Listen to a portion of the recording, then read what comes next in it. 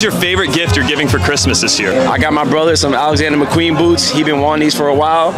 He not a, he didn't hear me, so we good. Got him some McQueen boots, snakeskin. You gonna see him?